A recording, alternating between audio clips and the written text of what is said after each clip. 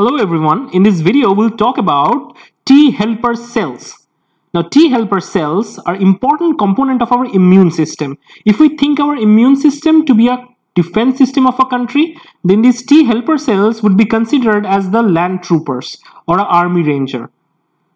So let us talk about what are the important functions of T helper cell, how they are developed, and what is the consequence, how they are matured, and how they're important for the immune system. And this video is pretty much detailed, so look at the timestamps in the description for a better understanding, but please stay tuned till the end of this video. T cells are born in the bone marrow from the lymphoid progenitor. The lymphoid progenitor give rise to T cell precursor and the B cell precursor. Eventually, the T cell precursor would be secreted in the bloodstream and they would eventually migrate towards the thymus, where the further steps of T cell development would occur. But before going to that, let me tell you that T cells take very important steps towards immunity. They interact with antigen presenting cells such as dendritic cells, and that ensures T cells should be activated upon any kind of infections. And the activated T cells further do important job. For example, activated T cells can activate B cells. Now, when B cell is activated, it forms or it differentiates into plasma cells. Plasma cells are secretion factory for antibodies. Thus, humoral immune response is indirectly uh, indirectly augmented by T cell activity or T helper cell activity. Now there are several subtypes of T helper cells. These subtype of T helper cells have their individual functions. Some of them are very helpful to combat viruses.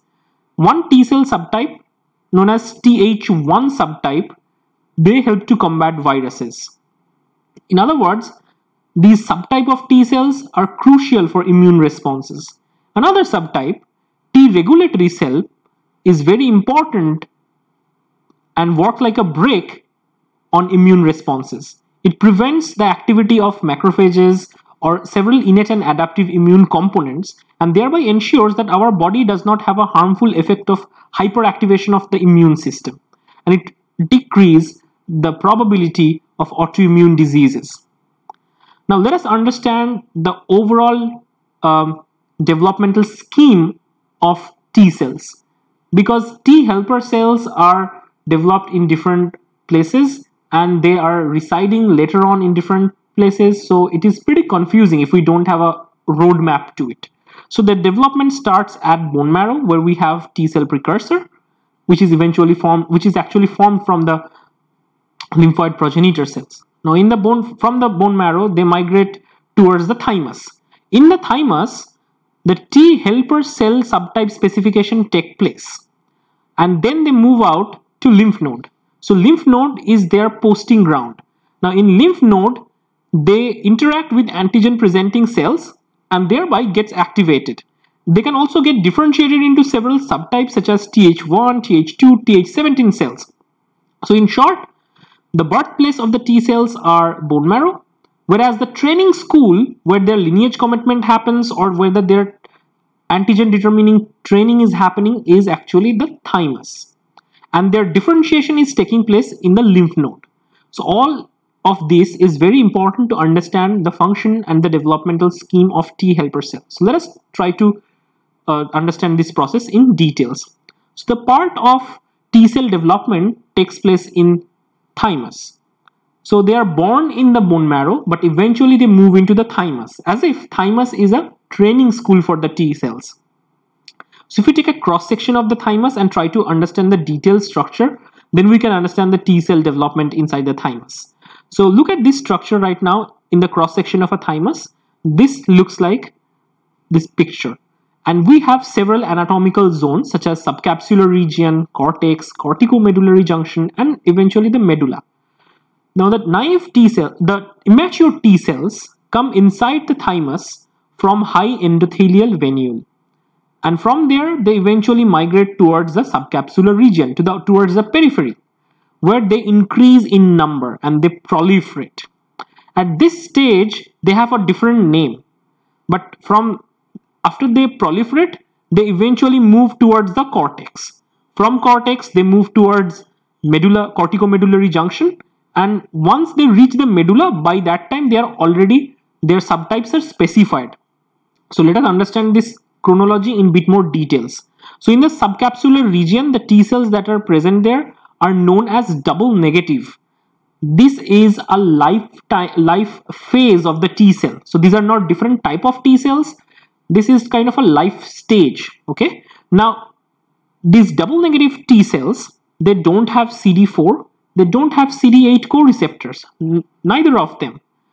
Now, they have the T cell receptor, alpha beta T cell receptor or gamma delta T cell receptor. Actually, the stage is further divided into few many steps like DN1, DN2. These are transition states, so we don't focus on that too much. But next step, they move towards cortex, and now they would be known as the double positive stage because they have also CD 4 co-receptor and the CD8 co-receptor. Both the receptors are present.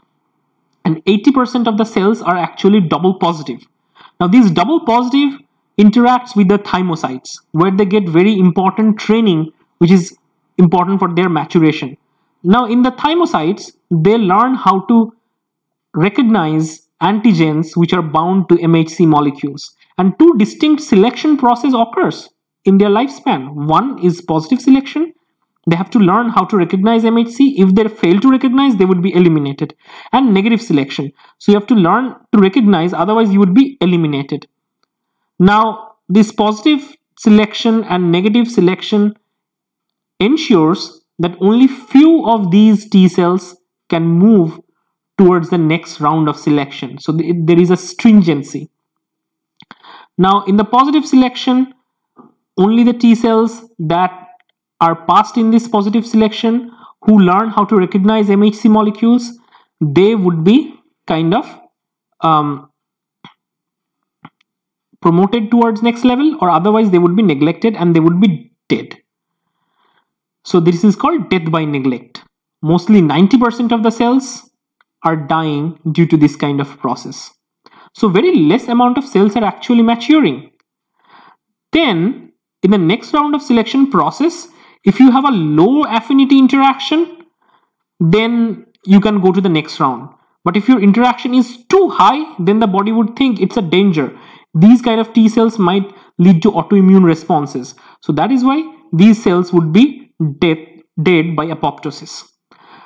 Now, these double positive cells, when moved to corticomedullary junction, they learn how to recognize antigens from class 1 MHC or class 2 MHC. Now, if they recognize the antigens from class 2 MHC, they would downregulate CD8 expression, whereas upregulate CD4 expression. They would eventually become a T helper cell. So we understand how T helper cells are specified. Now, if they recognize class 1 MHC bound antigens, then they would eventually become a T cytotoxic cell, they would downregulate CD4 whereas upregulate CD8. Point to be noted, if they don't regulate anything, they would be dead. But if they regulate both of class 1 MHC and class 2 MHC bound peptides, then also they would be dead and it would be considered as a danger signal. So they would be dead. Now, naive T cells, which are CD4 type C T cells, they have to recognize antigens from MHC uh, 2 type of peptides. Now MHC2 bound peptides are actually presented to the naive helper T cells. Now notice the term naive written in red. Naive means they have the certificate to recognize antigens but they have not done it in their real life. So they have not encountered any pathogen per se. So these are known as naive T cells. But they would eventually meet the pathogen when they are posted to the lymph nodes. Now naive T cells can be differentiated into naive CD8 positive, CD4 positive T cells or T helper cells can be differentiated into subpopulations such as TH1 cell, TH17 cells, T regulatory cells or TH2 cells. And each of these differentiation process is dependent upon specific polarizing cytokine coming from various sources.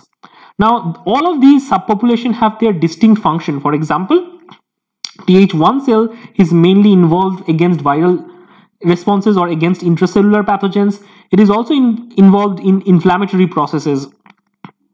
Th7 helps to combat fungal infections and bacterial infections, whereas T regulatory cell work like a brake in the immune response and it prevents hyperactivation of the immune system. Th2 cells protects against extracellular pathogens and particularly it is involved in allergic responses. So we understand that even under T helper cell, there are so many subtypes. Depending upon what type of cytokines they are encountering, they are further specified into subpopulation and subtypes, each having distinct function. Now, let me tell you that T cells are very much important for body's immune system. And in disease like HIV AIDS, your CD4 positive helper T cells are dead. So the HIV virus interacts with the CD4 positive helper T cells and they infect these CD4 helper T cells and while proliferating inside these T helper cells, eventually they kill the T helper cells and the number of T helper cells reduce dramatically in the body. As a result, severe immunodeficiency occurs and the risk of secondary infection increases several fold.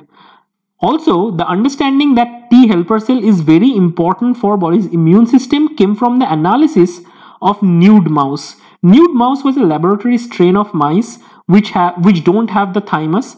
So when thymus was absent, then the T helper cell cannot be produced. As a result, what happens? This mouse becomes severely immunocompromised. So in this video, if you try to summarize, we have looked at the detailed developmental scheme of T helper cell functions of the T helper cell and how T H or T helper cell differentiate into specific subpopulation. So I hope you enjoyed this video. If you like this video, give it a quick thumbs up. Don't forget to like, share and subscribe. Thank you.